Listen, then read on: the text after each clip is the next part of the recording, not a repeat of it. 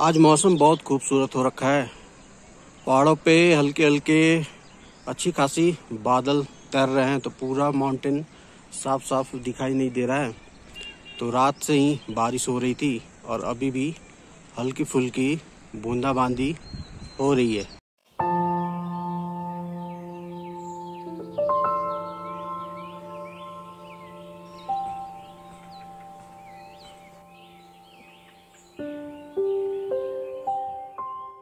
Hello दोस्तों, मेरे channel सत्तू journey में आपका स्वागत है।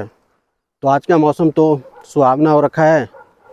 हल्की हल्की बूंदाबांदी हो रही है, रात भर तो बारिश हुई। तो आज है फ़र्स्ट अप्रैल तो लगभग एक सप्ताह ऐसा ही मौसम रहने का अनुमान है। हल्की हल्की बारिश होती रहेगी पूरे लगभग मनाली के चारों ओर।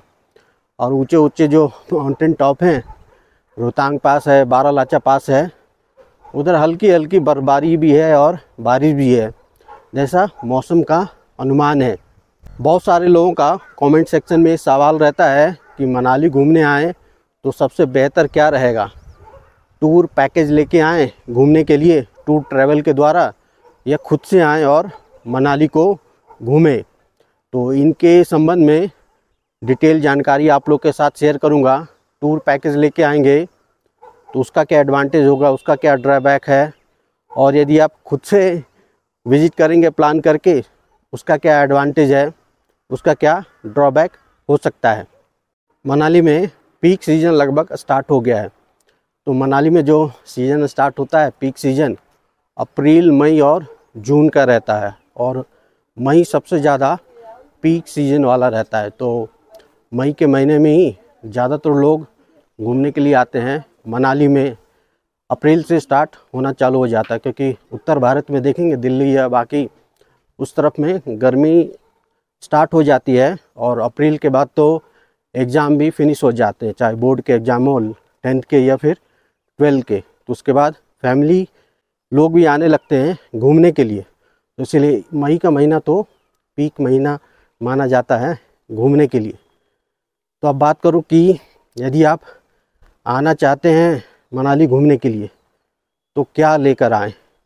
टूर पैकेज लेके आएँ या खुद से प्लान करें?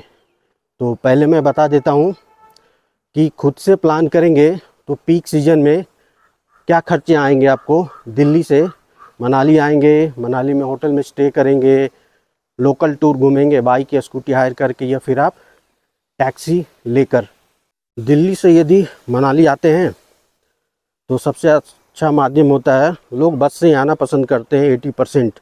बहुत सारी प्राइवेट एसी वॉल्वो बसेस चलती है, सरकारी बसेस भी चलती है हिमाचल गवर्नमेंट की, आईएसबीटी, कश्मीरी गेट से डायरेक्ट दिल्ली से मनाली के लिए। उसका किराया लगभग 1600 के आसपास है। किराया साधारण बसें चलती है, उसका किराया लगभग 900 के आसपास है। और प्राइवेट वॉल्वो बसेस की बात करूँ तो उसका किराया यदि दिल्ली से मनाली आएँगे तो आप रेट कंपेयर कर सकते हैं, तय कर सकते हैं। किसी भी वेबसाइट पे चाहिए रेड बस डॉट कॉम या और भी दूसरे वेबसाइट हैं तो उधर जाएँगे तो आपको किराया पता चल जाएगा कितना किराया है उसका। तो आजकल तो किराया महँगा हो रखा है तो लगभग आप दिल्ली से विज़िट करेंगे मनाली तो दो हज़ार, ढाई हज़ार, तीन हज़ार चेक कर सकते हैं। तो लगभग डबल हो गया, डबल से भी ज़्यादा महँगा हो गया है। वापसी में जाएँगे, मनाली से दिल्ली तो थोड़ा सस्ता पड़ेगा। होटल की बात करूँ तो पीक सीज़न स्टार्ट होते ही होटल का टैरिफ भी महँगा हो जाता, किराया महँगा हो जाता। तो ठीक ठाक होटल भी लेंगे आप, रहने लायक, बहुत ज़्यादा बढ़िया भी नहीं, फिर भी आपको 2000 से 3000 के रेट के बीच में मिलेगा।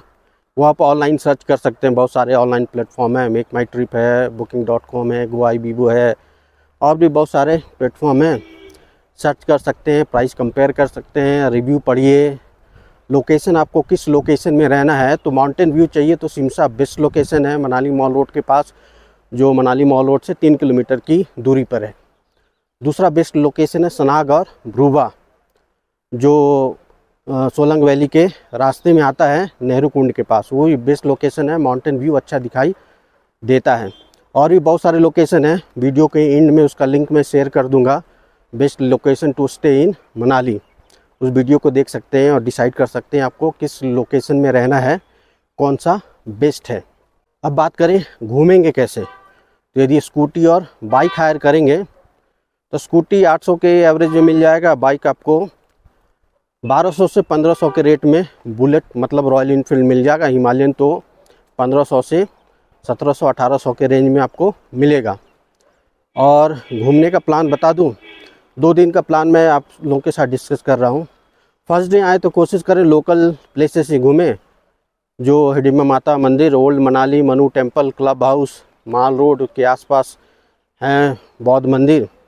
ये घूमें ज़्यादा अच्छा है, क्योंकि लंबी जर्नी करके आएँगे तो फिर उस तरफ़ यदि जाएँगे घूमने, अटल टनल उस तरफ़ तो फिर वो ज़्यादा थकावट होगा। सेकेंड डे का प्लान कर सकते हैं उस तरफ़ घूमने के लिए। लेकिन कोशिश करें सुबह सुबह चले जाएँ। जैसे जैसे पीक सीज़न होगा, भीड़ बढ़ेगी ट्रैफ़िक जाम भी काफ़ी ज़्यादा लगता है। सुबह आठ बजे, नौ बजे निकल जाएँ आप। क्योंकि यदि अटल टनल जाएँगे तो मनाली से लगभग फोर्टी किलोमीटर है। सीसू जाएँगे तीन किलोमीटर आगे है फोर्टी थ्री किलोमीटर। या कोकसर जाएँगे उसी तरफ़ तो लगभग पचास किलोमीटर जाना आना हो जाएगा।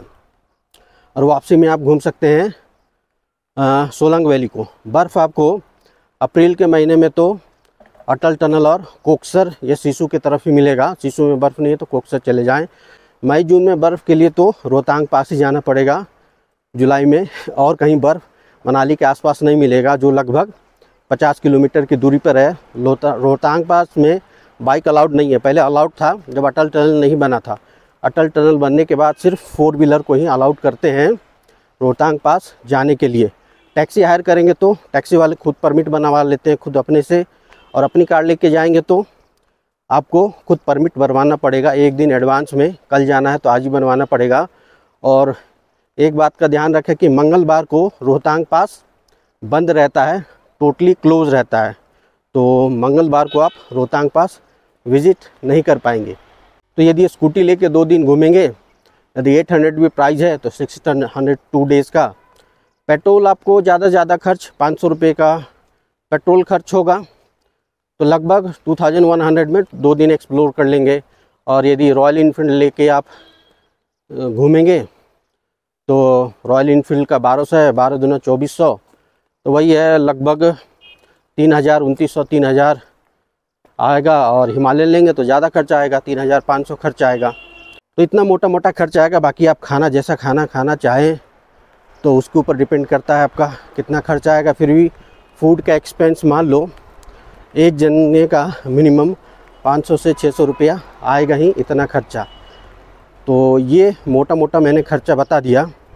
यदि दो लोग आते हैं तो लगभग बस का किराया के बीच में आने जाने का, दोनों साइड का बता रहा हूँ, दिल्ली से मनाली मनाली से दिल्ली का। होटल में दो दिन का पाँच हज़ार मान लें, ढाई हज़ार के रेट के हिसाब से।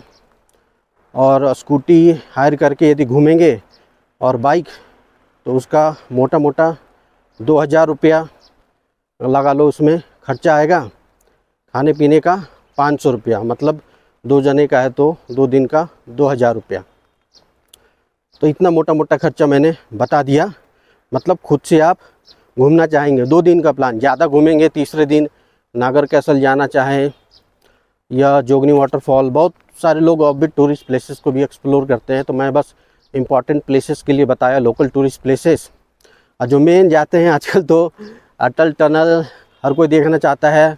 उधर ही बर्फ़ भी है सिसु में अटल टनल के पास या कोकसर के तरफ़ तो उधर ही जाना चाहते हैं तो यही टूरिस्ट रूट हो रखा है।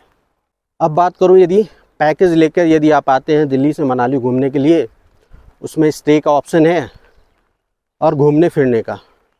तो एक बात का ध्यान रखें, आप डिसाइड कर लें, मैंने खर्चा बता दिया, यदि खुद घूमेंगे तो कितना खर्चा आएगा आपको? और यदि पैकेज लेके घूमना चाहते हैं तो कोशिश करें, दिल्ली से आना जाना तो इंक्लूड कर लें। उसके बाद यदि घूमना हो मतलब होटल में स्टे करना हो फ़ूड भी इंक्लूड करवा सकते हैं। लेकिन यदि घूमना हो तो ज़्यादा अच्छा रहेगा। खुद ही घूमें। यदि वो प्रोवाइड करा रहे हैं घूमने के लिए तो अच्छा है। आप देख सकते हैं वो कितना प्राइस लगभग चार्ज करेंगे। और एक बात का ध्यान रखें कि यदि यहाँ पहुँच बहुत सारी एक्टिविटी होती है। स्नो वाली एक्टिविटी होती है स्केटिंग होती है, बहुत सारी स्नो वाली ए टी बाइक राइडिंग होती है ऑफ़ रोडिंग भी होती है पैराग्लाइडिंग भी होती है जिप लाइन एक्टिविटी होती है हॉर्स राइड याक राइड दुनिया भर की एक्टिविटी है। तो वो एक्टिविटी आप खुद ही करें, पहुँच कर। पैकेज में इंक्लूड मत करवाइए। पैकेज में इंक्लूड करवाइएगा तो फिर वो महँगा पड़ेगा, काफ़ी ज़्यादा बढ़ जाएगा आपका पैकेज का रेट जो एक्टिविटी है, उसे इंक्लूड बिल्कुल नहीं कराइए, खुद ही विज़िट करिए। टूरिस्ट प्लेसेस को जो भी एक्टिविटी होता है बार्गेन करिए। बार्गेनिंग भी होती है यहाँ पे अच्छी खासी। लेकिन पीक सीज़न होगी होगा, भीड़ ज़्यादा होगा तो बार्गेन कम करते हैं। ऑफ़ सीज़न में भीड़ नहीं रहती है तो बार्गेन कम करते हैं। जिप लाइन जैसे पीक सीज़न में 500 600 चार्ज करेंगे। ऑफ़ सीज़न में जिप लाइन एक्टिविटी ढाई सौ रुपये में भी करा देते हैं कभी कभी तो दो सौ रुपये में भी करवा देते हैं। तो काफ़ी अंतर हो जाता है पीक सीज़न में, रेट लगभग मान के चलिए डबल हो जाता है घूमने का खर्च और ऑफ़ सीज़न में वो लगभग आधा रहता है। तो ये मैंने मोटा मोटा बता दिया।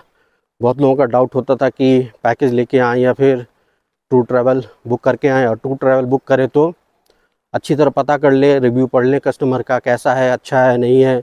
बहुत लोग प्रॉमिस करते हैं, वो डिलीवर नहीं करते अच्छा होटल नहीं देते हैं, अच्छे बस अवेलेबल नहीं करवाते हैं। तो इस बात का ध्यान रखें, पहले कंफर्म कर लें रिव्यू पढ़ लें, उसके बाद ही किसी टूर ट्रैवल को आप बुक करें तो ज़्यादा अच्छा रहेगा। आई होप आपका जो भी डाउट था क्लियर हो गया होगा।